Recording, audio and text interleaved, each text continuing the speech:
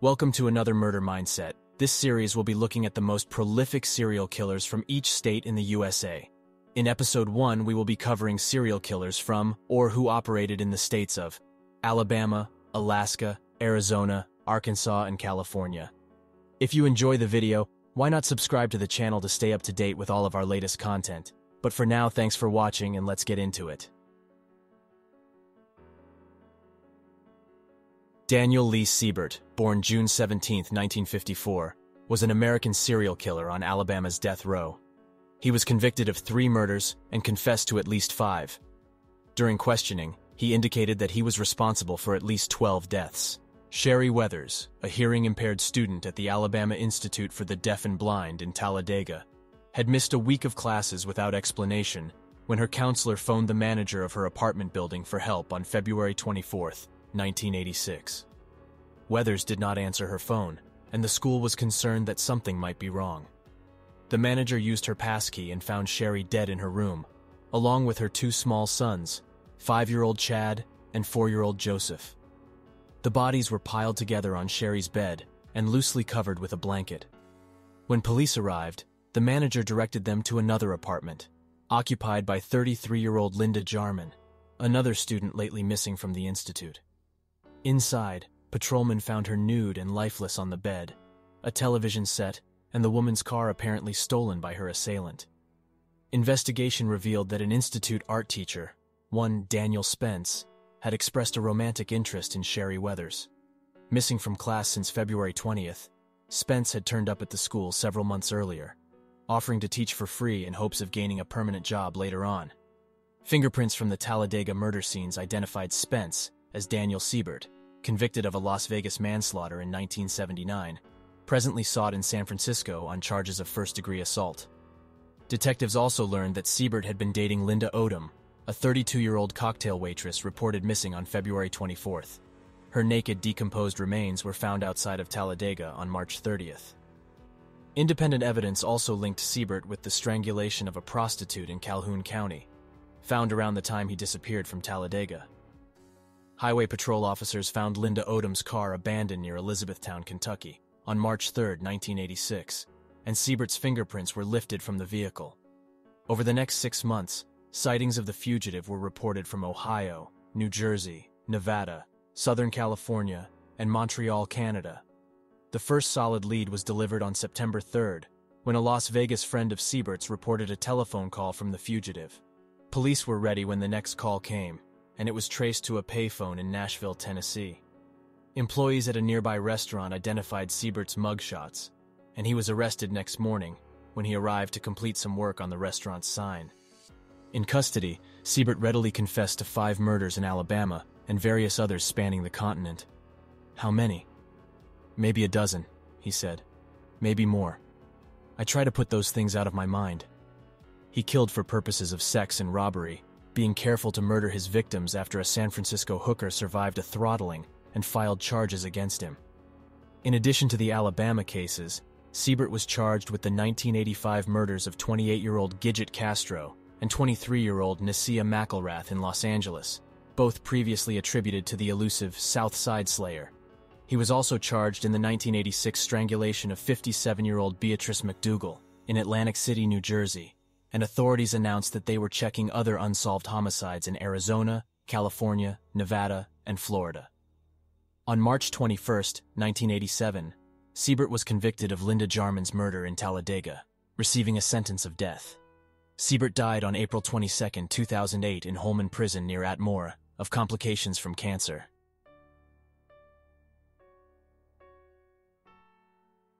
Robert Christian Hansen was born February 15, 1939 in Estherville, Iowa. Hansen is an American serial killer who flew his victims into the Alaskan wilderness and hunted them down like wild game.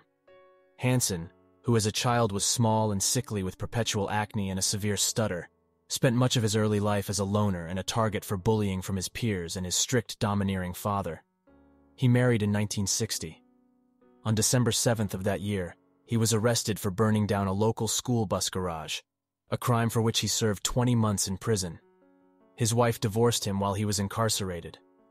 Over the next few years, he was jailed several more times for petty theft, and drifted through a series of menial jobs. In 1967, he moved to Anchorage, Alaska, seeking a fresh start with his second wife, whom he had married in 1963. While he was well liked by his neighbors and was famed as a local hunting champion, his life eventually fell into disarray again. In 1977, he was imprisoned for theft, diagnosed with bipolar affective disorder, and prescribed lithium to control his mood swings. He was never officially ordered to take the medication, however, and was released from prison after serving a year. By now the father of two children, Hansen opened his own bakery after his release and was widely thought of as a pillar of his community. He began killing prostitutes around 1980.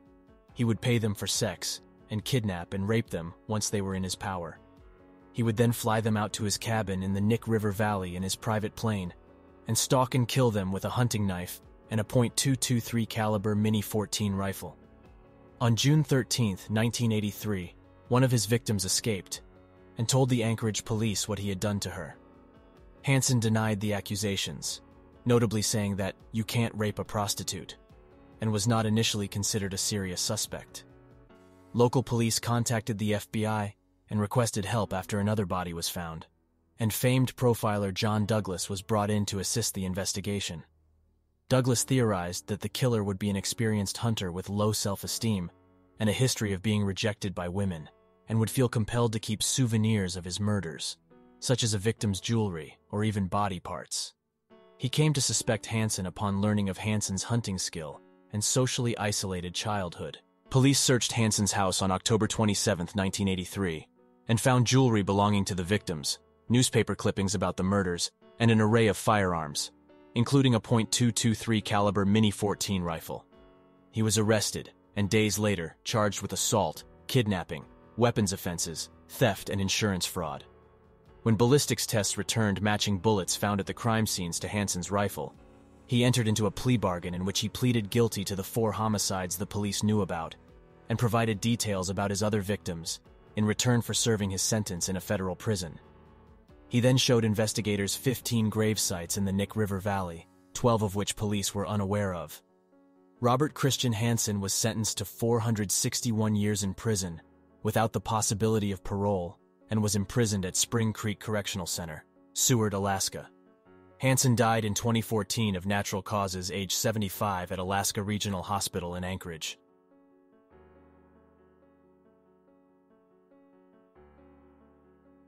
A native of the Bronx, born in 1951, Doug Gretzler was drifting aimlessly around the country when he met 28-year-old Willie Steelman on October 11, 1973. Once committed to a mental institution, Steelman had compiled a lengthy record of arrests around Lodi, California, serving prison time on conviction of forgery. He recognized a kindred soul on sight, and soon the men became inseparable, trolling the Southwest in their search for victims, stealing to finance their travels, and Steelman's heroin addiction. On October 28, 1973, they invaded a house trailer near Mesa, Arizona, binding 19-year-old Robert Robbins and 18-year-old Catherine Mesteter, then shooting both victims to death. Drifting into Tucson, they killed 19-year-old Gilbert Sierra and dumped his body in the desert, doubling back to murder Michael and Patricia Sandberg in their Tucson apartment. On the Superstition Desert, Gretzler and Steelman found victim number six, leaving his body in the sleeping bag where he was shot to death. In Phoenix, the killers abducted Michael Adshade and Ken Unrain, both 22, dumping their nude bodies in a creek bed near Oakdale, California, rolling north in their stolen van. Authorities in Arizona had already issued warrants for Gretzler and Steelman by the time they reached Victor, California, 40 miles south of Sacramento, on November 6th. Walter and Joanne Parkin went bowling that night, leaving their two children, Lisa, 11, and Robert, 9, in the care of 18-year-old neighbor Deborah Earle. In the course of the evening, Deborah's parents dropped by to visit, along with brother Richard and her fiancé, 20-year-old Mark Lang. When the Parkins got home, they found a full house, including two strangers with guns. Carol Jenkins, a house guest of the Parkins, returned from a date around 3 a.m. and went directly to bed, taking the silent house for granted at that hour of the morning. Near dawn, she was roused from sleep by two friends of Mark Lang, who had spent the night trying to find him. Jenkins started a search of her own, stopping short when she found Walter and Joanne Parkin in the master bedroom, shot to death execution style, Deputies responding to the call found seven more bodies jammed in the bedroom's walk-in closet. Victims had been gagged with neckties, bound with nylon cord, secured with as many as six knots in places, before they were massacred. In all, medical examiners would remove 25 slugs from nine bodies, plus one stray from Bob Parkin's pillow. Police published mugshots of Steelman, and Willie was recognized when he checked into a Sacramento hotel on November 8th. Police descended on the scene and both gunmen were swiftly arrested, booked on nine charges of first-degree murder. Gretzler cracked under interrogation, directing police to the scattered bodies of other victims while Steelman kept silent, refusing to enter a plea on the charges. In June 1974, Gretzler pled guilty to nine counts of murder, while Steelman submitted his case to a judge and was promptly convicted. On July 8th, both defendants were sentenced to life imprisonment without parole.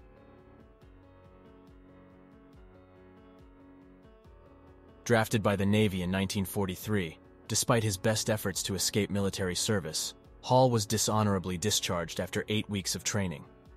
Back home in Little Rock, he married 19-year-old Fayreen Clemens on March 14, 1944. But their relationship was a stormy one, marked by a brief separation in June. On September 28th, Hall paid a visit to his father-in-law, reporting that Fayreen had deserted him three days earlier. Police were notified, logging reports of the young woman's promiscuous behavior, and they closed their investigation after a week, declaring her a probable runaway. Their theory was bolstered two months later, when relatives received a Christmas card with Fayreen's signature, postmarked from Bakersfield, California.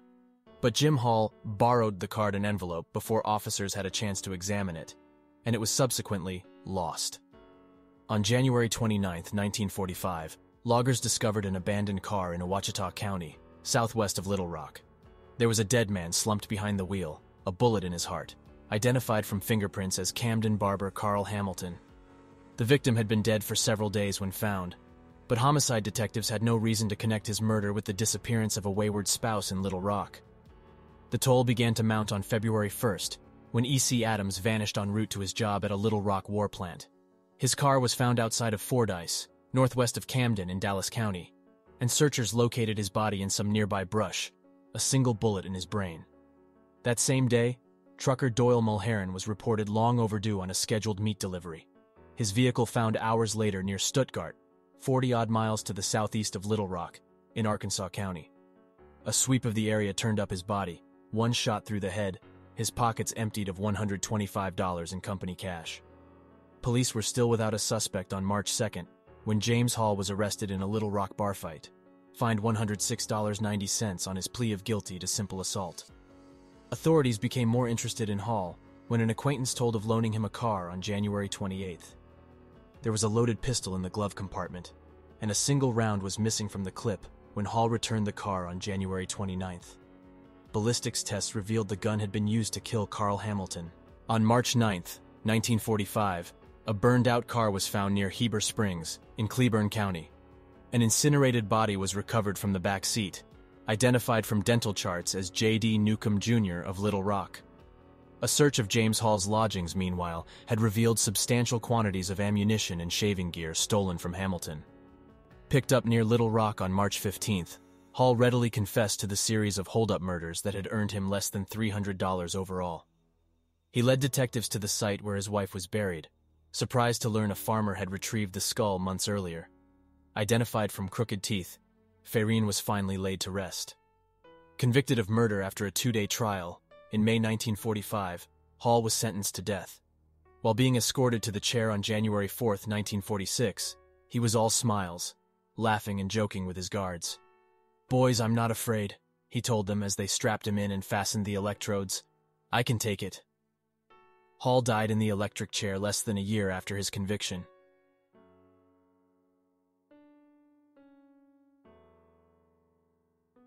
Penniless native Mexican Juan Corona arrived in Yuba City, California, sometime in the 1950s, and slowly built a more than respectable living as a labor contractor.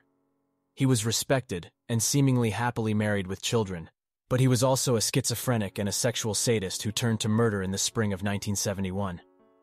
Corona found workers in the steady flow of migrant laborers coming out of his home country, and just plain vagrants that were looking for a paycheck. Most were men that were transient in nature and not likely to be missed. He would simply select a new worker, one that was usually owed money, kill them, and then bury them. The disappearances never raised any concerns as workers often just up and left without notice. A fruit farmer in the area found a hole dug on his property on May 19th. When the man checked on the mysterious hole the next day, it was filled up. Even to a simple farmer, it was obvious that this was more than likely a grave for someone or something, and he called the police. Kenneth Whitaker was dug up from the earth, his throat and head hacked viciously, and his upper body stabbed repeatedly. A search for more graves turned up more than anyone would have imagined, and by early June the total had reached 25 bodies.